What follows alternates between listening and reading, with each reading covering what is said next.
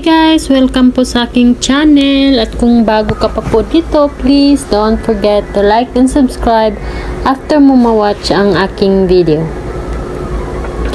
May new video na naman po ako at ito ay uh, tutorial na kung, kung saan makikita ang ating QR code sa Instagram. So bago po ang lahat, syempre dapat may Instagram app ka or Instagram account. So, start na po ako at sundan nyo lang po. Open lang natin ang Instagram app.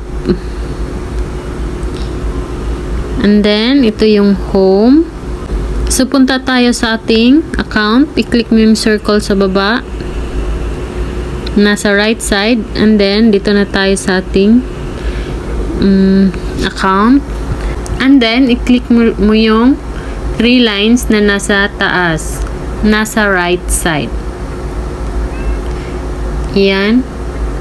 So, dito, makikita natin yung QR code natin. I-click mo.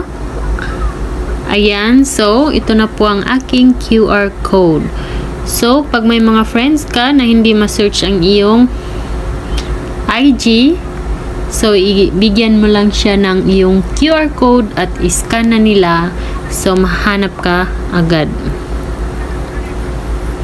So, yun lang po. Uh, guys, please don't forget to like and subscribe after mo ma-watch ang aking video. Thank you. Bye-bye. See you po sa aking next vlog.